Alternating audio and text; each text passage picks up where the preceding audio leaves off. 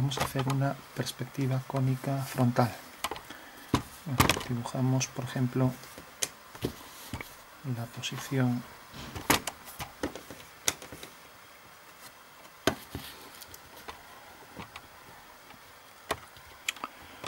del plano del cuadro, por ejemplo aquí. Vamos a marcar la referencia del papel. Y aquí la posición del punto de vista.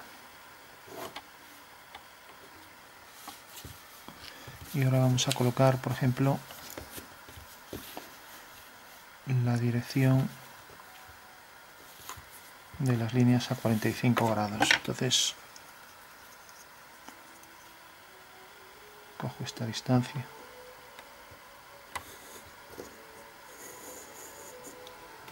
Y este es un punto de medida. Bueno, ahora coloco, por ejemplo, aquí la línea del horizonte, una paralela a esta línea del PC.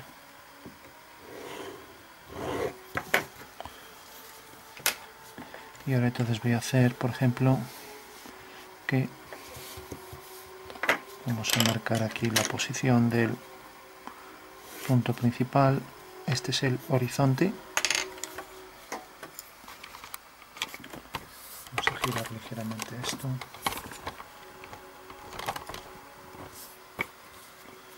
Bueno ahora tenemos por ejemplo voy a poner aquí un prisma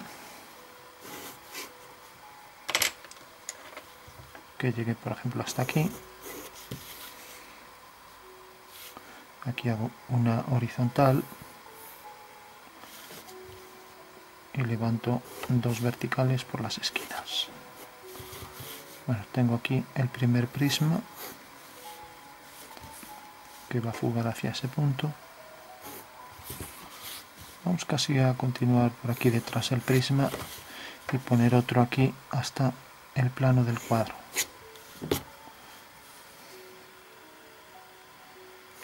Dándole aquí más altura por ejemplo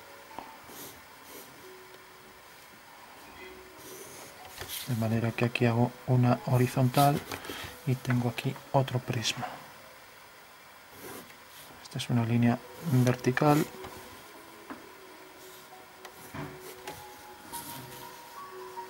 Vamos a poner aquí por ejemplo la intersección de los dos prismas y coloco aquí otro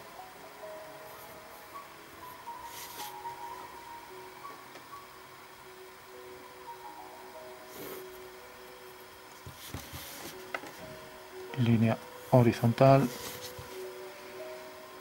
vertical, vertical y horizontal.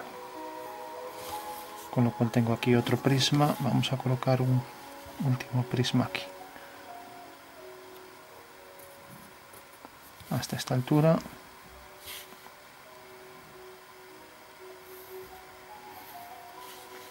Vamos a darle una altura menor a este. Vamos por ejemplo, hacer que se meta un poco hacia adentro mejor. Para hacer prismas entrelazados. Por lo tanto, aquí vertical, aquí detrás vertical. Corta aquí detrás. Horizontal. Vertical y fuga hacia allá. Vamos a terminar este prisma, por ejemplo, aquí. Bueno, tenemos entonces en principio 1, 2, 3 prismas, 4. Vamos a continuar este por detrás por aquí, hasta aquí. Y este también lo continuamos, por ejemplo, por aquí. De manera que viene por aquí. Vamos a ampliarlo un poco más. Viene por aquí. Entonces esto imaginamos que es, por ejemplo, un edificio. El edificio está formado por estos bloques. este queda muy hacia atrás. Vamos a hacerlo más hacia adelante el prisma, por ejemplo, hasta aquí.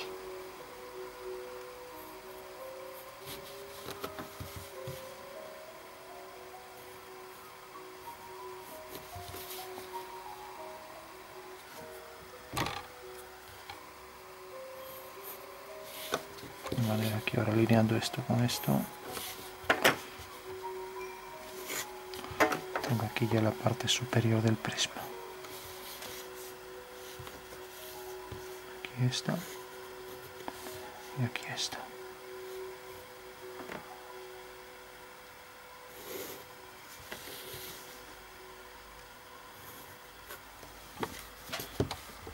Con lo cual ya tengo toda la figura. Aquí en el punto de corte horizontal. Y vamos a continuar este prisma de atrás por ejemplo hasta aquí.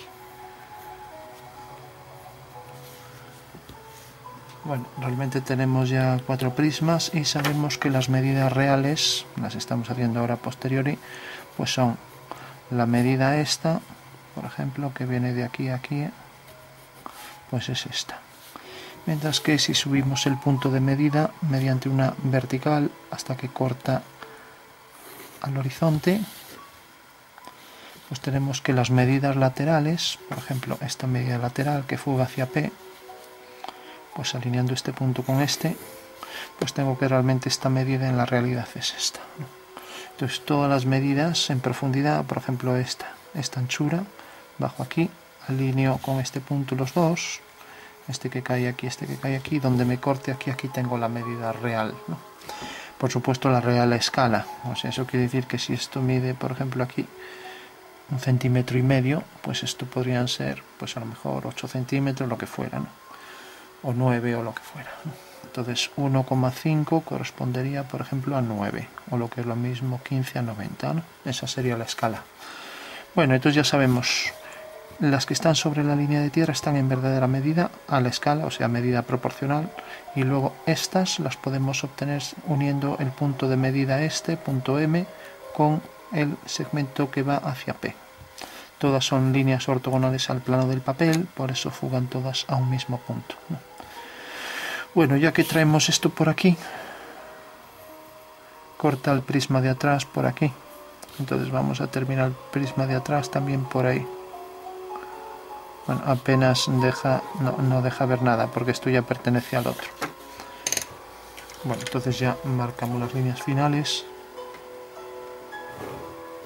Y tenemos ya la perspectiva frontal.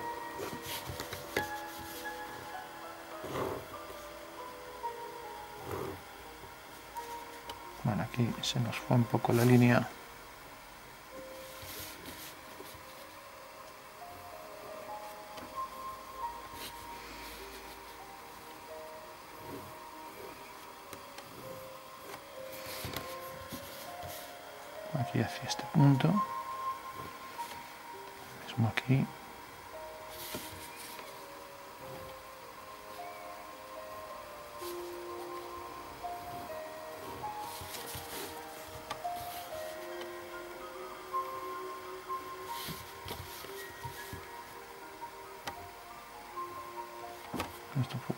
hacia P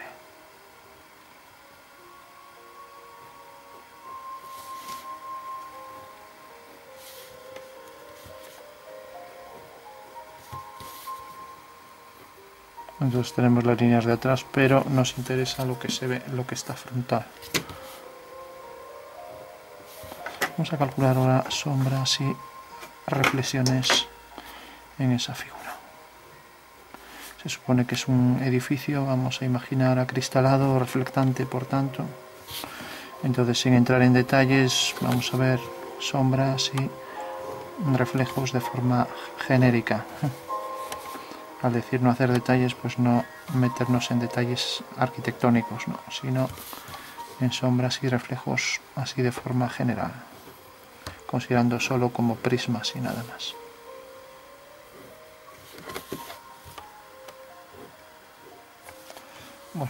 Ya completo. Entonces, como sabemos, la técnica sería así, por ejemplo, el sol está aquí,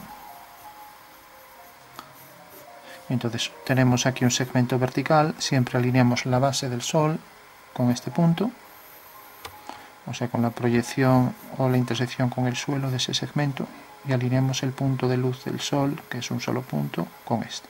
entonces esa sería la sombra. Y eso es lo que vamos a hacer con todo.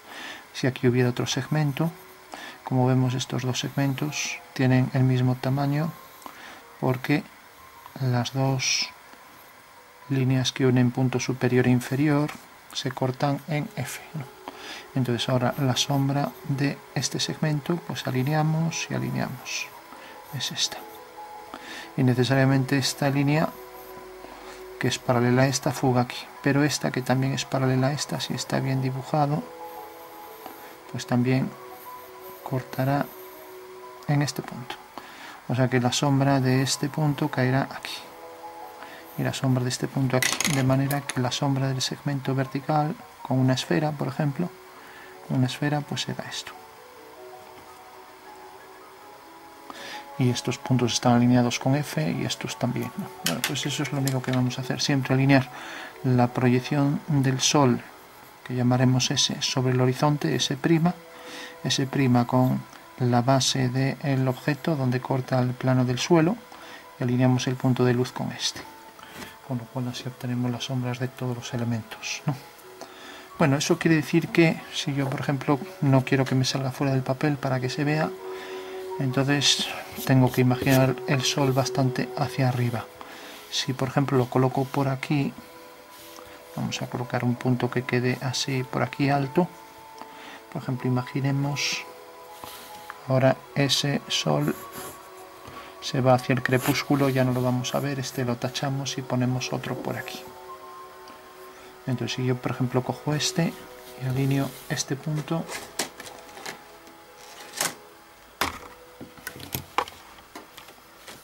este punto con este, me va a quedar muy lejos. Entonces vamos a hacer que no quede tan lejos. Vamos a hacer por ejemplo que este punto caiga. Si por ejemplo lo coloco aquí. No tiene por qué coincidir con el punto de medida. Tengo aquí la proyección del sol. Lo que era ese prima ahora lo coloco aquí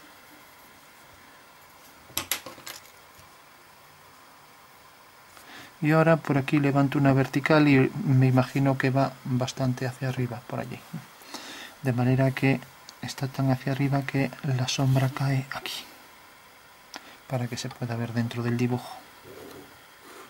Por tanto, la dirección del rayo es la intersección de esta línea de esta línea con esta. Como vemos queda muy lejos, pero ya al menos nos deja ver aquí dentro nos deja ver aquí dentro cuál va a ser la sombra. Entonces, otra línea que sigue esa dirección al punto de intersección de estos dos, que marcaré así intersección de estas dos líneas, pues irá también esta línea. O sea que seguirá, será concurrente con esta y con esta en el mismo punto. De lo que se desprende es que esta línea al ser paralela a esta, esta línea al ser paralela a este plano tendrá aquí la sombra de este segmento paralela y corta realmente aquí con lo cual ya tenemos que la sombra de este segmento va a ser esto. Ahora la, sombra de esto va a ser una paralela. Como vemos tiene que exceder, tiene que exceder realmente a este punto, porque si estuviera aquí, esto tendría que estar alineado con el sol. Bueno, en todo caso, la sombra de esta línea, que es una paralela, mm, no parece muy lógico. ¿Por qué? Porque si tenemos el prisma, la sombra de este punto, de este punto, y ahora la paralela hace que tendría que estas dos líneas sean paralelas estas dos, ¿no? Y aquí no lo parece, pero realmente lo es. Por si hacemos ahora esta línea, pues vendría por aquí. O sea que realmente tendríamos que esa línea sería esta y esta sería, este triángulo sería este. Bueno, hacemos lo mismo con este punto, concurre al mismo punto hacia allá arriba y por aquí va hacia ese prima o sea que sigue esta dirección, por lo tanto corta aquí, la sombra de esta será una paralela y la sombra de esta línea será una paralela hacia allá. O sea que ya tenemos ahí la sombra de este prisma. Y haremos lo mismo con todas las esquinas, por ejemplo, ahora con este punto. Alineamos con este y desde este punto una línea que concurra con todas esas y corta, por ejemplo, aquí.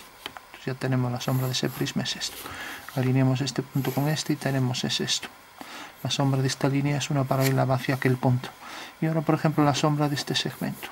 Pues alineamos con esto y aquí lo mismo. La dirección aquella, por ejemplo, corta aquí. Entonces tenemos que la sombra va a ser esta. Vamos a hacer, por ejemplo, bueno, no quería yo que coincidiera con esto. Entonces, esta, si la hacemos hacia aquí, parece que corta más hacia aquí.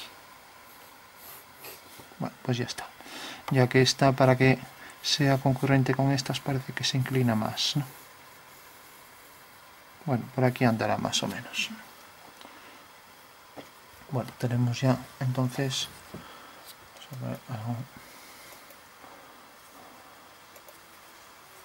más de música. Bueno, tenemos la sombra de esto, quizás esta es la que al final la que se nos llenó ahí de líneas.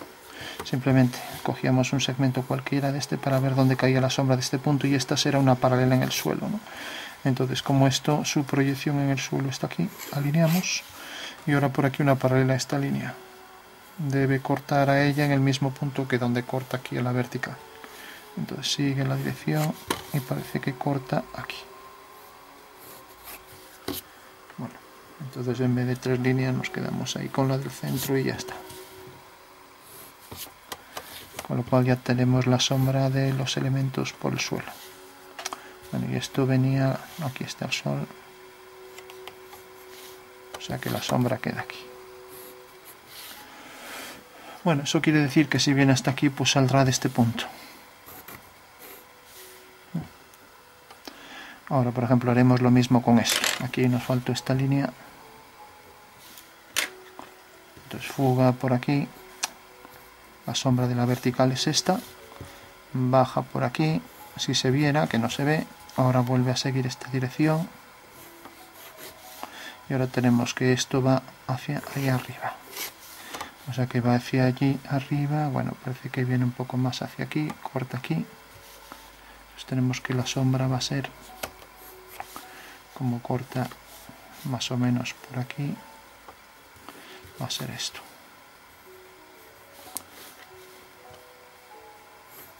O sea que ya tenemos la sombra del prisma este y ahora viene por aquí y por aquí detrás sigue hacia aquella dirección. O sea que sombrea por ahí detrás bueno ahora por ejemplo el prisma este viene por aquí sombrearía por detrás esto si vemos el plano este pues esta línea corta por ejemplo en este punto pues fugará también.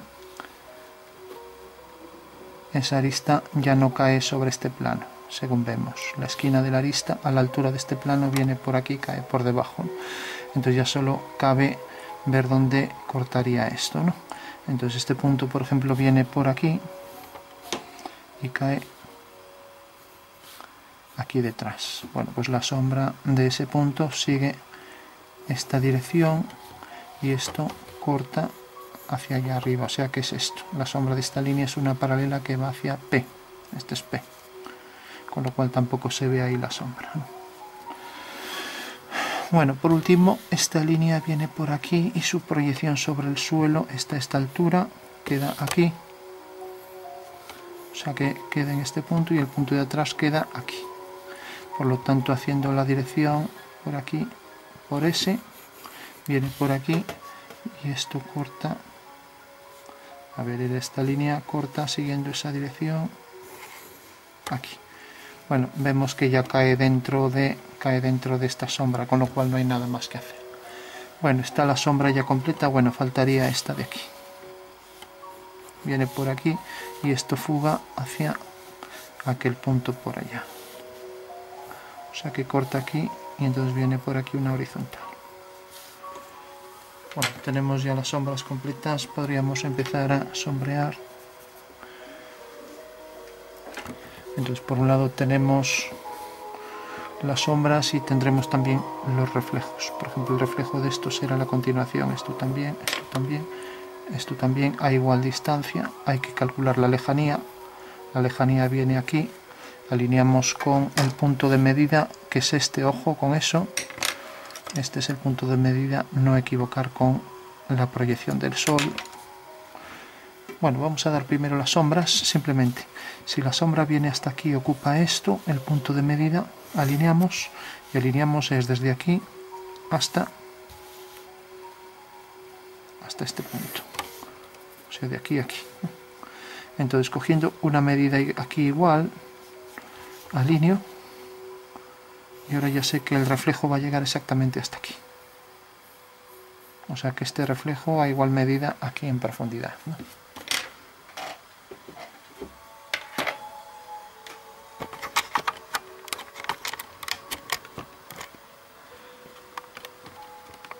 Bueno, tenemos entonces, vamos a darle las sombras y los reflejos. Lo mismo haríamos con esto. La profundidad esta hay que darla aquí igual, o sea que se reflejará aquí.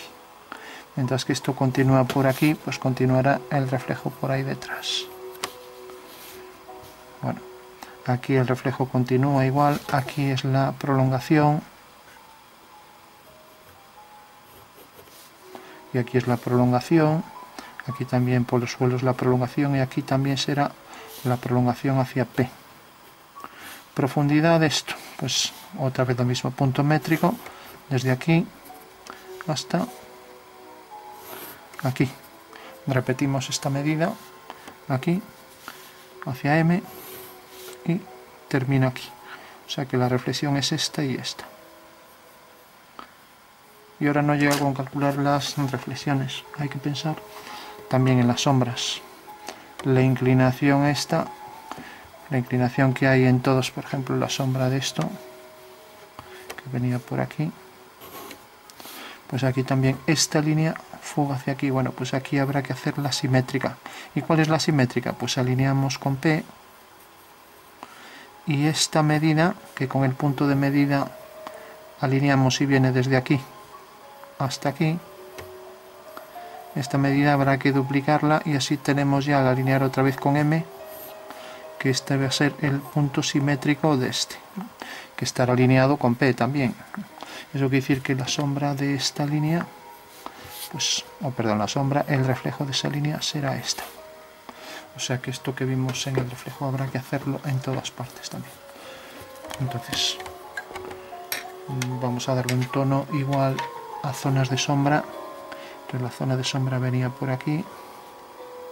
Esto es zona de sombra. Esto proyectaba en este punto. Entonces aquí sombra en principio le damos un tono homogéneo y luego vemos las diferencias. Zona de sombra.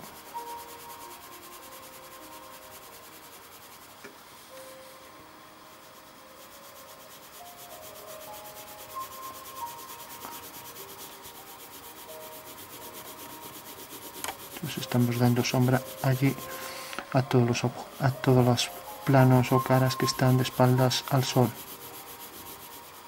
el sol está delante por tanto las sombras vienen hacia nosotros.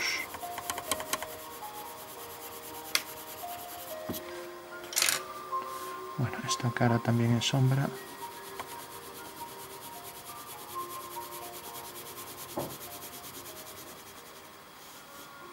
Entonces esto venía en sombra y todo esto queda también en sombra con lo cual oscurece todo esto y de nada vale que proyecte aquí esta sombra ya que esto se va a tragar. Viene por aquí viene por aquí.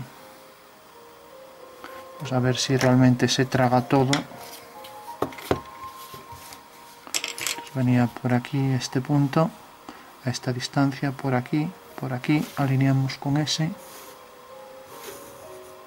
Y viene por aquí, si venía por aquí, por lo tanto traga todo esto de, ya no, es necesario aquí mm, respetar solo este trozo de sombra que proyectaba esto aquí, sino que va a proyectar este prisma toda la sombra aquí.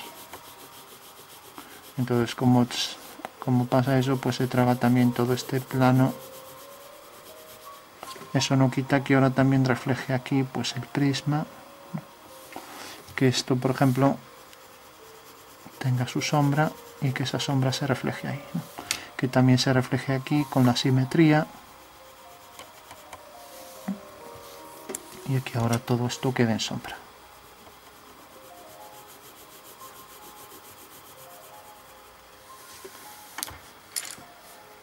y ahora por ejemplo esto se reflejaba entonces la técnica que utilizamos aquí para hacer el reflejo de este oscuro esto venía aquí y luego era la sombra de esta línea una paralela entonces todo esto también queda en sombra. Bueno esto se podría hacer todo a ojo. Sería más sencillo pero mmm, sería más sencillo pero claro no sería tan real como si está calculado. Si está calculado sabemos que es conforme a la realidad. Otra cosa es que al no tener los tonos acordes a los que corresponderían, o sea, que cada tono tenga su valor exacto, su oscuridad exacta, su matización exacta respecto al color, pues entonces tampoco va a ser nada real, ¿no? Pero bueno, y esto la paralela que fuga hacia P. Bueno, pues eso sería el cálculo de sombras para estas superficies, estos volúmenes prismáticos entrelazados. Bueno, y por último ya vamos a hacer ya los reflejos para combinar. Entonces decíamos esto tenía su reflejo aquí, esto tenía su reflejo allí detrás, hasta el final. Eso quiere decir que esto es el final de esto. Habíamos calculado hasta dónde venía. Eso quiere decir que el prisma no viene por aquí, sino que viene hasta el oscuro, por aquí. O sea que en realidad este prisma se oscurece aquí y el reflejo está por aquí. Y ahí termina el reflejo del prisma. Luego continúa esto por detrás, que no tiene nada que ver con esto. Esto es el reflejo de el reflejo de la pieza.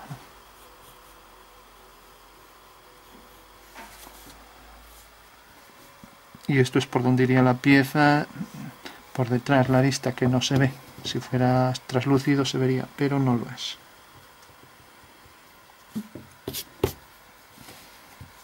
Con lo cual aquí simplemente oscurecemos todo igual y ya está.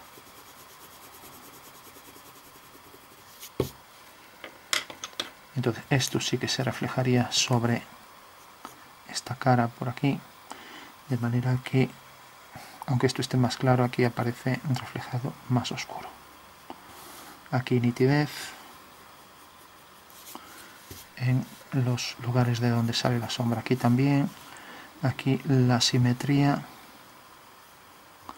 de esa forma la continuación de esto su reflejo aquí debajo que decíamos por ahí detrás y el final de la línea está reflejada ahí con lo cual ahí detrás pues bueno esto es sombra pues esto también tendrá sombra reflejada. Luego aquí pues tendría la sombra esta que viene por aquí hacia S' entonces decíamos que la simétrica era esta. Y estos dos puntos alineados con P y la profundidad de esta la obtuvimos aquí sobre la línea de tierra. Pues a igual medida obteníamos este punto. Por tanto esto es lo que aparece oscuro o sea que este es el reflejo de esto. Entonces aquí la sombra también podría ir más oscura. Poner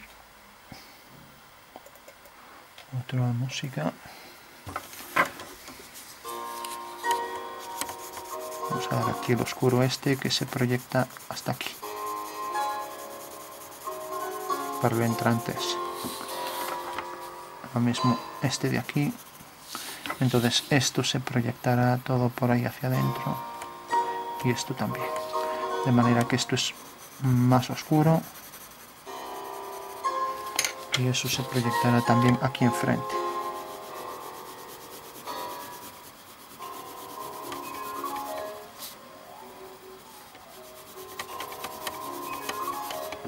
Bueno, este oscuro también se proyectará todo por ahí enfrente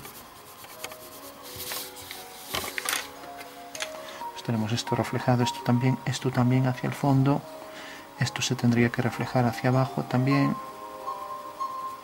y esto con más luz también. es el reflejo de este prisma de las dos líneas verticales hacia abajo. Eso no quita que haya un degradado aquí de reflejo del sol hacia abajo. Bueno el degradado de el cielo que vendría todo por aquí con degradado hacia adentro. Podríamos oscurecer esto es lo que está de espaldas al sol. Y esto también.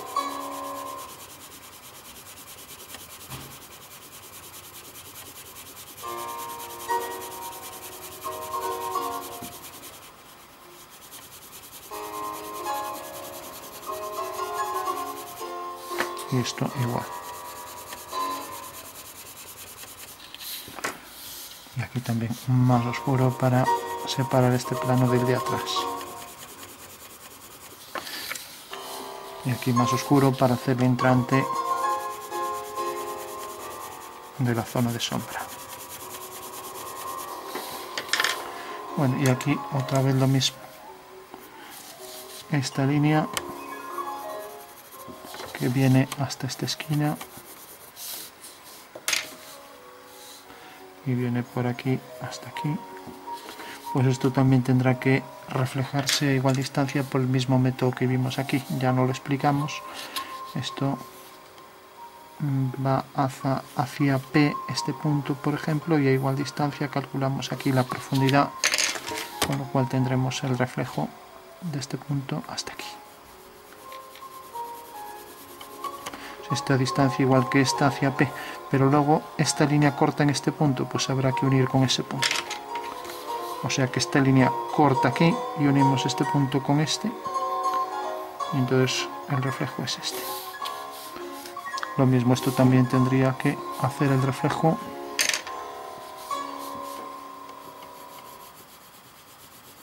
esto ya fusionamos porque es la sombra que se solapa de esto que era hasta aquí de esto que fugaba hacia P y era de este prisma el fundido aquí del entrante hasta aquí. Y lo mismo aquí el fundido del entrante el hueco con su sombra proyectada de un prisma y del grande hasta aquí. Bueno aunque hemos hecho análisis de muchos detalles siempre es fácil que se olvide alguno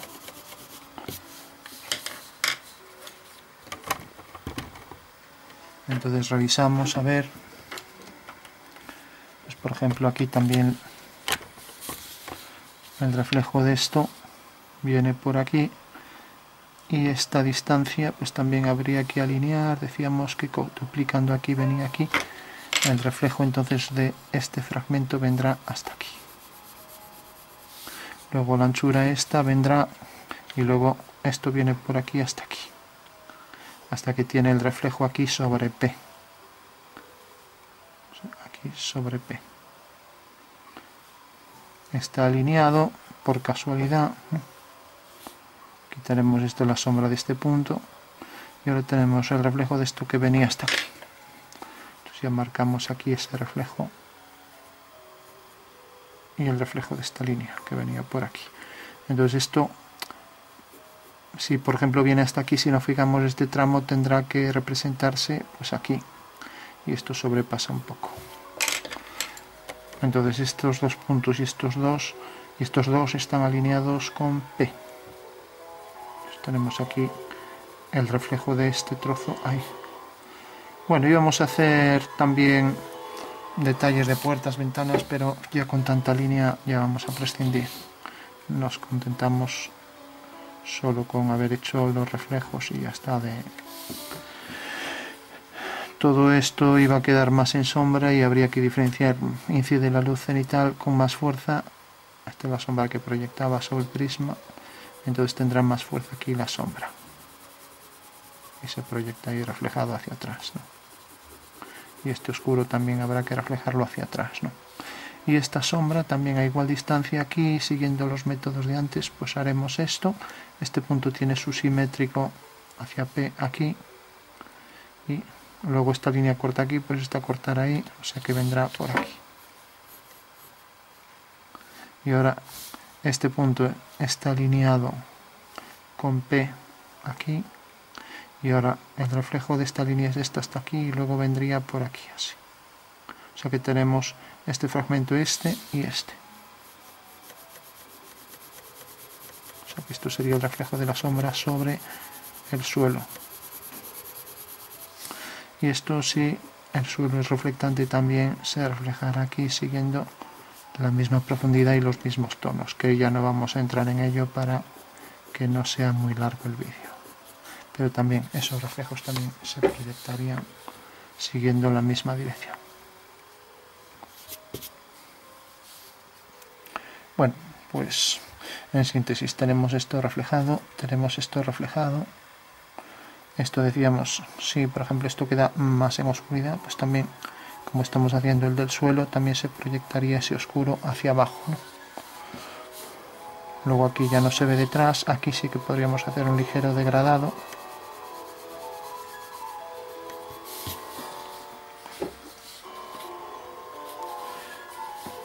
Entonces tenemos este triángulo hacia atrás también esto reflejado ahí, esto aquí abajo esto también se reflejaría hacia abajo este tiene un tono oscuro, entonces se incrementa el oscuro, ¿no? Esto habrá que reflejarlo ahí enfrente. Marcamos en principio estas líneas del comienzo con más fuerza y ya las vamos perdiendo.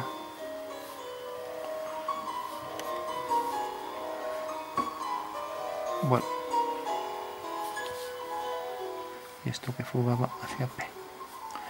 Tenemos el reflejo de esto, esto también habría que reflejarlo aquí abajo. Y la sombra esta también, aparte de esto, que tendría que ser ligeramente más pequeño, también esto va hacia P, entonces ese fragmento aquí también se reflejará. Como vemos hay muchos más tonos que tocar. Bueno, sabemos ya cómo calcular esas distancias, entonces luego para comparar hacemos este mismo ejercicio en la sonometría para ver, realmente pues estos detalles de sombras como resulta mucho más sencillo porque aquí todas las líneas por ejemplo este punto y su simétrico esto es este segmento pero luego este punto tendrá su simétrico sobre la línea esto o sea aquí detrás en este punto hacia P. Entonces hay que ver que todos los simétricos deben estar alineados con P ya que son líneas que siguen la dirección ortogonal tendría que igualar. Y aquí decíamos sombrear aquí perdiendo el oscuro este hacia abajo.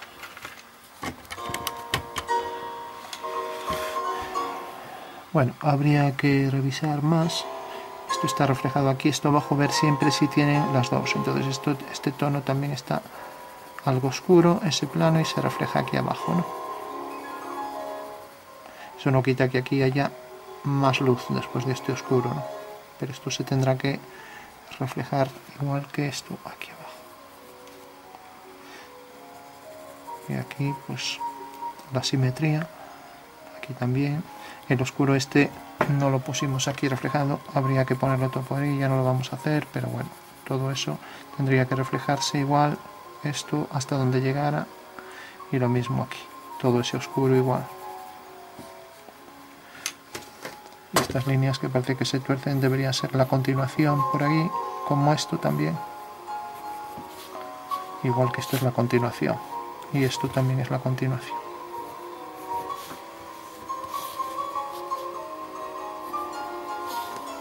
Y esto aquí. Bueno, pues lo dejamos aquí y vemos ahora la sonometría para ver la comparación y la facilidad a la hora de hacer la sonometría y que todos los planos son paralelos. Ahora es cuando también se podrían hacer los detalles, puertas, ventanas, etc. Pero ya, como hay tanto reflejo, lo vamos a dejar. Yo, si revisamos, pues seguramente falta algo. Por ejemplo, este punto y este está alineado con P, pues sí, aunque no lo parezca. Este punto y este también es su reflejo este punto está alineado con este, este punto con este, pues también aquí todo este reflejo. Aquí la sombra ya decíamos que quedaba más hacia abajo, no tocaba ya este plano, la sombra de este prisma. Y luego esto iba hacia ese, por aquí. y lo mismo este de aquí